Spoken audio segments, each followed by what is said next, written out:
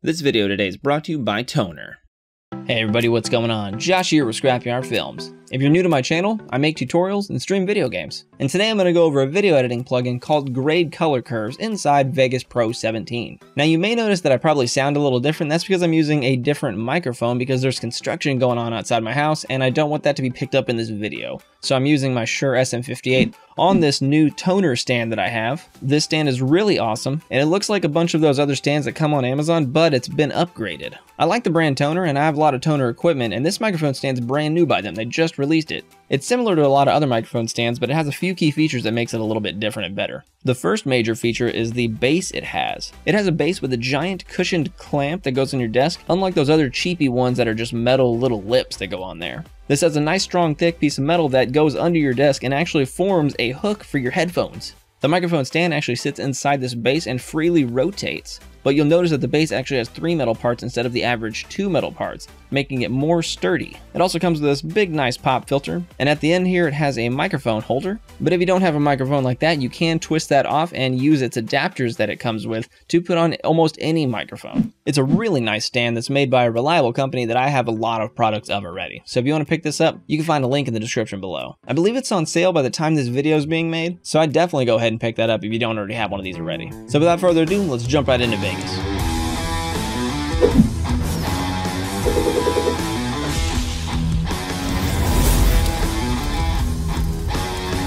Alright, so we're in Vegas 17 right now. I went ahead and drag and dropped a clip in here that I'm going to use for example purposes explaining the plugin. If you find Graide Color Curves in your video effects and you select it, you're going to see a bunch of presets created by the developer. We're not going to use these, we're going to use the default and I'm going to show you all the different things this plugin has to offer. So I'm going to drag the default onto my video clip and we'll see the Graide Color Curves window. And let's go ahead and take a look and examine this real fast. So on the bottom, we're going to see some options and some are enabled and some are disabled. Let's talk about those real fast. We'll see that the brightness, red, green, and blue have toggle buttons, and if we select them, it gets rid of them out of our view entirely. So if we just want the blue curve, we can do that. If we just want the blue and red, we can do that, and so on. Over to the right, we see this button, which has overlay curve. If we select that, all of our curves get stacked into one, which some people like that more. The button to the right of that is the fixed aspect ratio. If it's enabled, you're going to see a perfect square for your grids. If it's disabled, you're going to see them stretched across however long this plugin's window is. So I'm going to put it back to square. To the right of that, we'll see 8-bit units. And when this is enabled, the units in your curve turn to point values from X and Y. If it's disabled, they turn to percentages. To the right of that, we have snap to grid. If you enable that, you'll notice that the point is snapping to certain parts in the grid. And if you disable it, you'll notice you can put this point anywhere you want at a much finer detail. To the right of that, we have lock movement. So if you have that enabled, you can only move this up and down or left and right, depending on which way you move your mouse when you grab the point. Next over here we have pick color. This is an extremely useful part of this plugin. If you select it, you can select the color of anything on your screen. It doesn't have to be on your preview, it can be this gray. And if you select it, you can select multiple colors. I want to make this blue. It's super useful when you're trying to pick out specific colors to change. The one to the right of that is a little bit more broad. You can pick a color range instead of one single point. So let's say I want to change my skin tones. That's not just one specific color, that's an actual range. So if I reset this curve and I select this one and then go ahead and select my forehead, it's going to select every point where my forehead is. And I can adjust these accordingly. Of course, this isn't going to be done here in this specific curve, but that's an example. So bringing us to the curved menu, you can left click and drag points around, you can select multiple clips at once, control commands work like control A, control C, control V, and if you right click, you have your control commands, and then down here you have reset curves and default view. So if you made a lot of mess ups right here, you just want to start over, you can right click and hit reset curves. If you scroll in and out, you can zoom in and out of the grid itself into specific points. If you want to bring that back to normal, you can right click and hit default view.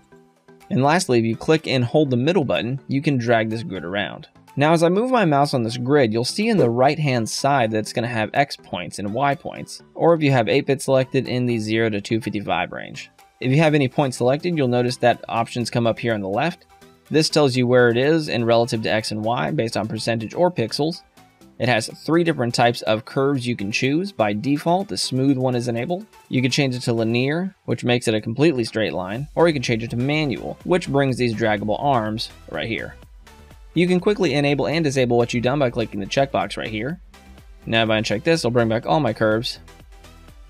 And you can do that for individual ones.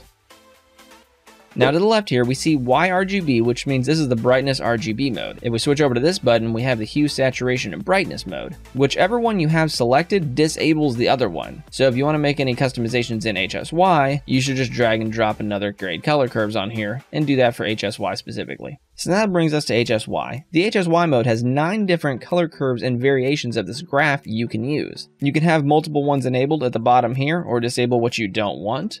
But if you have them all enabled, you see nine different graphs. We're going to go over these one at a time real quick. So I'm to disable all these except for brightness. The very first one, brightness. Of course, standard, you can just adjust the brightness and contrast of this video.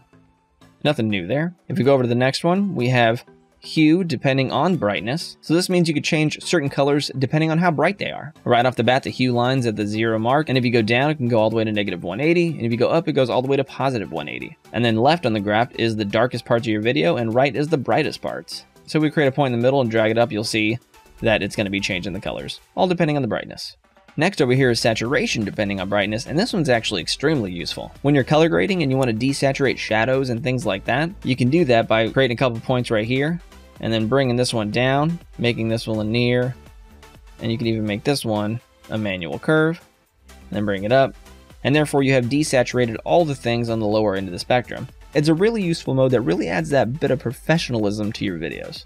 Next, we're going to go to hue, and everybody knows that you can just change the color of specific things. So this is really good for changing skin tones if you want to make sure you have correct skin tones. So I can unsquare this graph right here, and then I can select the color range, and then click and drag over my forehead, and it creates points on the graph of the color of my forehead. So I can add a couple more points at the end here and here, and I can take these two points and then drag them up and down to change the color of my skin.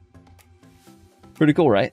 Next one to the right, we have brightness depending on hue. So basically here we can select colors on this video and brighten and lower them based on the color. So again, if I select my blue color range right here, add a couple more points, select these two, and then change the brightness and darkness of my blue shirt.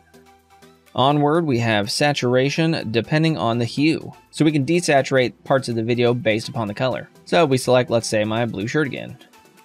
And then I add a couple more points right here. I can grab these two points and then completely desaturate it. And look, now I have a gray shirt. Over to the right of that, we have basic saturation. Everybody knows this. If you're a video editor, you can increase the strength of the colors and decrease them. To the right of that, we have brightness depending on saturation. So basically from left, we have 0% saturation. To the right, we have 100% saturation. And at the bottom of the graph, we have complete darkness. And at the top, we have complete brightness. So if at a point in here, we can see that it will change the brightness depending on our saturation. And finally, we have hue depending on saturation. So depending on how saturated a point in this video is, we can change the color. So I pick my blue shirt right here. It adds a point where my blue is, and I can make a couple points around that and then drag it around based upon saturation of whatever color I selected. And those are all the features of Graide Color Curves. Now let me go ahead and show you a real world example of when you'd use this. I'm going to quickly color grade some footage using only this plugin.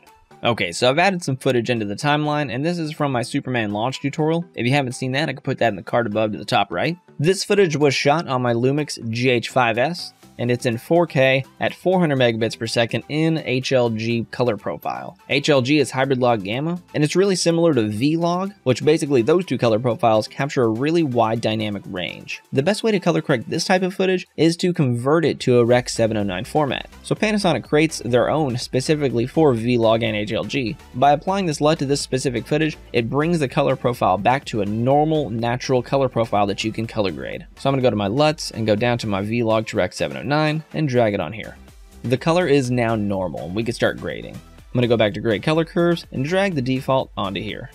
First thing I notice is that my face is a little bit bright. I don't want it to be past the 80% mark here, so I'm going to drag that brightness a little bit down. I'm going to do that by selecting my brightness, Control A to select both points, changing them to manual, which gives them these little swing arms, and I'm going to drop this down a little bit. That looks pretty good to me. Next up, I wanted to add a mood to this. Then I could do that by using these color curves over here. Let's say I want to make it kind of a gloomy mood. Then I could increase the blues and the highs and the lows of this video. So I'm going to go over here to my lock movement axis button, enable it, and I'm going to drag this blue up.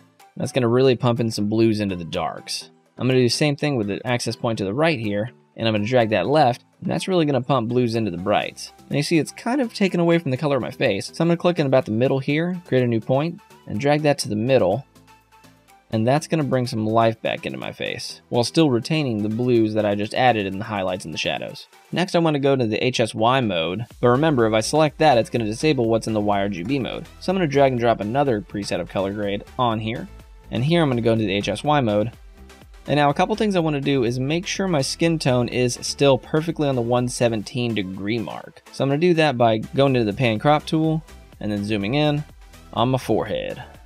Now that I've done that, I go over to my vector scope and see where this is at. And it looks like the 117 mark, which is where my mouse is, this is a little bit too red. So I'm going to drag and drop that down. In Graide Color Curves, I'm going to go to the hue. I'm going to uncheck brightness because I don't need that one. I want to keep hue up, and I'm also going to keep saturation depending on brightness. So right now I'm going to disable brightness versus saturation and saturation, so I just have hue up. Now here I'm going to take the color range tool and then drag it all around my forehead right here and it just created my forehead range. I'm going to scroll in to zoom in a little bit, create another couple points by double clicking, and I'm going to take and select just the middle two points and drag them up a little bit. And we can see that's dragging this down and making it a lot less red. Maybe I went a little too far, but we're just going to keep it right about here. I'm going to right click, bring it back to default view. Next, I'm going to click the saturation open up that menu, go back to pan and crop, right click, restore it, so now we have this look. Go back to Graide Color Curves at the top. And what we're going to do is decrease the saturation just a little bit. I think my face is just a little too bright, so I'm going to drag that down a little bit. Selecting inside the saturation, Control A to select both points. Use this button to change them to manual curves. And I'm going to drag it down. That looks a lot better because I don't like my saturation to go too much past 40. Lastly, I'm going to go ahead and enable saturation depending on brightness. And what I'm going to do here is I'm going to crush the color out of the shadows that I pushed in. Remember on that blue curve, I pushed in some blues into the darkness? Well, I'm going to keep those blues there, but for the pure black parts, like right here and around my eyes, I'm going to desaturate them to black. So I'm going to zoom in a little bit here, double click, make a couple points, make this one a linear one so it's straight, double click, make a couple more points because I want this line to be perfectly straight and the only part I want curved is this left hand side. So I'm going to select all these, right click, reset the nodes, that puts them back onto the line. I'm actually going to change these last two to the manual mode. I'm going to drag and drop this one all the way down to zero. Looks like I accidentally brought that one with me. I'm going to deselect, select this one, and bring it back up. I'm going to take this arm and then drag it outward. And I'm going to select this point and make it a linear point, so it's straight. I'm also going to take this arm down here and then drag it outward. So basically, on this scale, which is absolute blacks to absolute whites, anything that's this close to absolute blacks is going to get 100% desaturated. If I deselect it, you can see around my eyes and the bottom left of the shadows losing color down there. So sometimes this is a little bit too harsh, and you can round it off by dragging this up a little bit. And there you go. That's looking awesome. So let's see what it looked like originally and then graded with just this plugin. Really good. And there you have it. You now know all about this awesome plugin and all the things it can do. It's super powerful, it has a lot of uses, and has a lot of awesome features that Vegas doesn't come with naturally. So if you're even remotely serious about color grading, then you should definitely pick this program up. If you use the link in the description below, you can get it on sale for a limited time, so I definitely recommend scooping that up as fast as possible. If this video helped you out, be sure to shoot a like and subscribe down there, because that'll really help me out. I'm trying to reach my goal of 20,000 subscribers, and I can do that with your help. So thanks again for watching, everybody, and I'll see y'all in the next video. And I want to give a special shout out to all of my subscribers up there at the top. Be sure to check out their channels for some awesome content.